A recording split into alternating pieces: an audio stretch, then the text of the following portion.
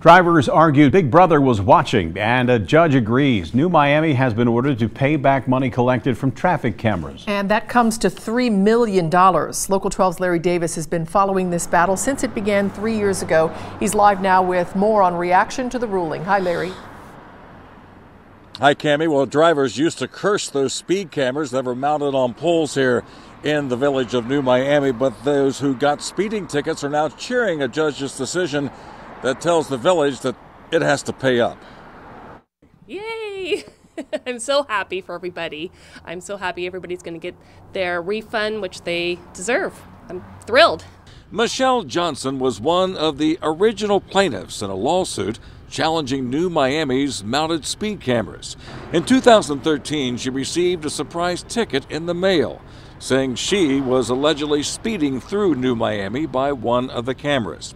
Michelle claims she was not speeding, but she paid the ticket.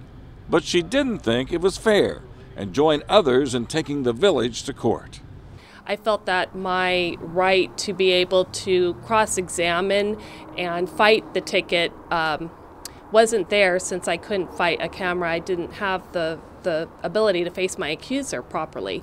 The mounted speed cameras were eventually ruled unconstitutional and eventually taken down.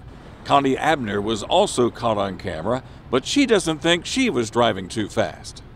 40, maybe three, four, right in there, five, no, no more than that. And the limit's what, 35? Yeah, but you, they're supposed to let you buy with 40, but evidently they don't. The mounted cameras were replaced by handheld cameras that are used now by new Miami police officers on patrol. Connie says she was caught on camera again. Yes, don't even start. Yes. Yes, it was 90, 93, I believe, I paid.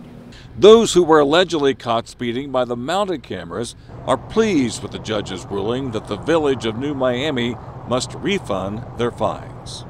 I think it'd be great, but whatever, it'd be good. Some of those people, that was a, a hardship on them, and I've been in that position as a single mom before.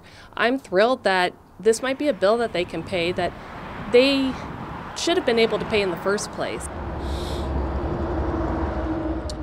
So, Cami, the big question is Does New Miami have the money to pay back these people who were given speeding tickets? Uh, that's a good question, but we did not get any answers today from when we tried to contact people with the New Miami Village. Now, uh, they, there is a plan to appeal these decisions. There are appeal process currently in, uh, underway. And uh, an affidavit that was filed in court uh, by the fiscal officer says that uh, the general fund in New Miami is $1.375 million. And Connie Abner says that she might be able to pay the new traffic ticket she got with the repayment from the first ticket she got from the speed cameras. Live in New Miami, Larry Davis, Local 12 News. Cami, back to you. Okay, Larry, thank you. Butler County Judge Michael Oester says the order to pay back the money was to, quote, correct the unjust enrichment of the village of New Miami.